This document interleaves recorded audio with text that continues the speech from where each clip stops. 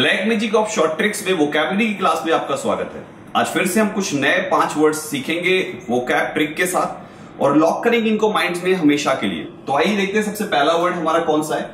सबसे पहला वर्ड है टैंजिबल टैंजिबल मीन्स होता है रियल या वास्तविक। याद कैसे करेंगे? तो टैंजिबल को याद रखना है तो टैंजी को ताउजी कर दिए। टैंजी साउंड लाइक ताउजी तो ताउजी बल, देखिए ताउजी बल मतलब ताउजी बोले। तो ताउजी बोले कि ये बात बहुत ही टेंजिबल है, ये वास्तविक है। भाई ताउजी बोल रहे हैं तो सही ही होगी ना?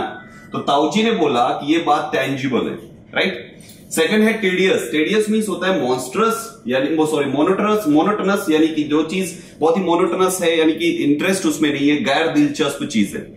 अब यहाँ पर टेडियस को कैसे याद रखेंगे? टेडियस को टीडीएस से याद रखिए। टीडीएस होता है ना?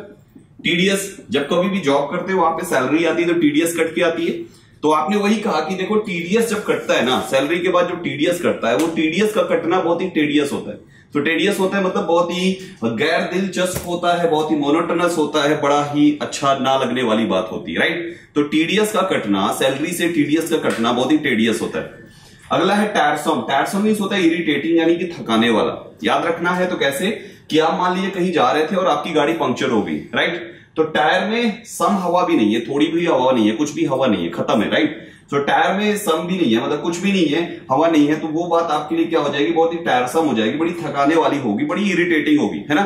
अगर बाइक पंक्चर बाइक को खींचना पड़ता है तो ये कैसी होती है? इरिटेटिंग बात होती है तो ऐसे याद रखेंगे। थ्रिफ्टी मीन्स होता है इकोनॉमिकल यानी किफायती या कंजूस जिसको आप कहते हैं। याद कैसे करना है? थ्रिफ्टी को याद रखिए 350 से, है ना? 350 होता है। थ्रिफ्टी साउंड लाइक 350 और सेंटेंस क्या बनाइए कि जो इंसान अपने पूरे महीने भर का खर्चा 350 में चलाता है, वो इंसान बहुत ही थ्रिफ्टी होता है। हाजी जो अपने घर का खर्चा 350 में चला ले, महीने भर का खर्चा जो 350 में चला ले, वो कैसा है? वो बहुत ही थ्रिफ्टी होता है, बहुत ही किफायती होता है, बहुत ही कंजूस टाइप का आदमी होता है।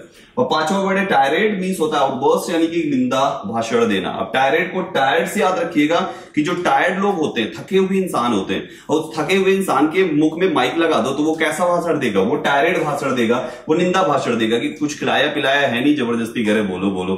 तो इस टाइप से ये पाँचों वर्ड्स आपको ट्रिक के माध्यम से आई होप लर्न हो चुकी होगी। आपको ये ट्रिक अगर पसंद आई तो डेफिनेटली आप लाइक करके इस वीडियो को शेयर ज़रूर करेंगे। Thank you so much